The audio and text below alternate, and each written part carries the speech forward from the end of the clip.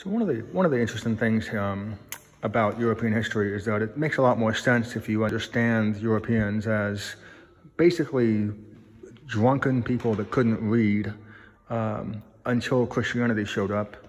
Uh, if you look at it that way, um, and, and they were drunk because because water was clean water was difficult to find, alcohol was safer to drink, and so even today you've got you know mostly alcoholism is a huge problem. Um, but you know, one of the reasons you go to war is because you don't have a legal system in place, and the Europeans were going to war all the time. Um, and so, it, it, you know, whether it was the Huns they were concerned about, um, which then became the Ottoman Empire, uh, you really had this quest for gold, um, you know, just anything shiny. Um, and of course, you had a tradition of building things, which happened all over the place. But um, the what you notice when you look at all these different migrations um, is that you know just because Christianity showed up around you know the think about the fourth century, um, you know you've got here we go. Well, it showed up before then, obviously, right? But the Romans suppressed it, uh, and so ultimately it wasn't until 313 that you actually had a, a an alliance between the state and the church that allowed Christianity to you know grow in a sustainable way.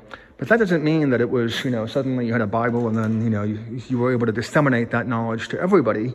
What was really happening here is that the the church became the basis for knowledge. It became the store for knowledge, um, and that's why you had a you know that's why the Catholic Church in particular um, you know had such influence because it was basically melded with the state in Europe, and even today, uh, the Holy See uh, has uh, representatives that show up to these conferences in Europe, um, you know, as a representative of the Catholic, you know, sort of empire. And once you understand how that worked out, um, and you have to also understand that the printing press didn't show up until quite some time ago. And the reason for that um, is twofold. Uh, one, you had a, the establishment of a, of a, three orders right over here. Um, didn't really show up until you know, the French. Uh, didn't show up until 1000. Um, and then, you know, the French have a lot going for them, right? They had the French Revolution, which was essentially an anti, anti-religious, anti-Christian revolution. Um, and, you know, that, that, of course, drove a lot of people to the West. It drove them out to, to Spain. It drove them out eventually uh, to the United States. Um, so you had all these different people, just essentially all these different movements that originated in constant warfare and constant migration, um, you know, just all over the place. And but you have to remember that you know the Bible was in Latin. It wasn't a language that, that was accessible to most people. So even after the printing press, it wasn't until the Germans under Martin Luther uh, sort of demanded a wider dissemination of that knowledge um, that you really had the opportunity for more, um, just a, a, better class of people, uh, simply because if you don't have something to read, and remember, there's no movies back then, there might have been a few plays, but if you don't have something to read and you're getting drunk all the time, chances are you're, going to have a patriarchal society that's very much um, going to, you know, very much going to just fighting quite a bit in between bursts of great creativity. And so you can see why, by the time you know Constantine showed up, uh, you can see why Christianity or anything, any, anything at that time, you know, would have been welcomed simply to uh, have a more sustainable system. And because it was a written language at some point, you were essentially in a place where you could have a legal system that didn't really exist before Christianity, but because it was in Latin, because all these different, you know, books were translated under the authority of a single church, um, you know, you obviously had a lot of corruption. And the United States, of course, came up with this idea of a separation of church and state because they were the ones that were, you know, sort of kicked out of the UK. And so you understand a couple of things about when you study European history. Number one, you're dealing with drunk savages that were fighting all the time. Number one. Number two, they were still drunk savages even after the adoption of Christianity because most of them could not read. And they could not read because a lot of that knowledge was, you know, you've got this idea of the church blessing the king. Well, that happened again because the church had access to this divine knowledge that apparently nobody else had. And that became the basis for supremacy and authority.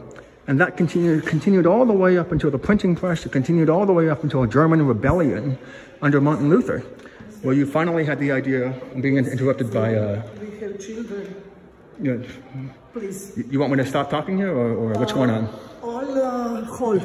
Okay, you want me to go over there? Uh, yes, yes. Okay. And so Uh, out. in the hall. No, no, this. Exhibition. You've got a group over there, basically. So that's why I'm moving in this direction. Um, so that's basically a lot of the history. Um, and so it hasn't been more than um, 500 so years that we've had civilization in Europe that's been separate from the church. And of course, we haven't had broad dissemination and of knowledge at all. And so the Christians were able to succeed simply because they had the best stories. They, you know, and, and if you don't have a movie, you don't have plays, um, it's difficult, right? And you don't have a language that you can disseminate in a way that makes you know people pay attention. You've got a problem because that, in fact, is what you know. One of the reasons Judaism became quite so popular is because you know it was a foundation of the Abrahamic religions. And that's because it had a very interesting legal system that did not exist at the time. Um, the response to that, of course, was Christianity, which, you know, if you look at it, a lot of it is just in opposition to its, its predecessor. When you go into an, an Orthodox church, you have to cover, you have to take off your hat. You, ha- you cannot cover your head. That is reserved for the priesthood. Um, so you see again a very elitist sort of structure. Uh, whereas when you walk into a synagogue, you have to cover your head. So a lot of what happened in Christianity and, and in Catholicism was just in opposition to what came before it. It wasn't necessarily a, a legal system that was designed um, to have any sort of longevity.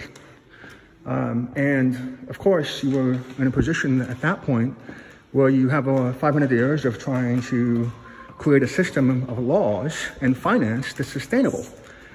But because the Christians delegated finance to their predecessors, um, they had problems coming up with a legal system that made sense. So I'm going to go ahead and stop here so I can finish the rest of the museum. But that's basically a nutshell of European history.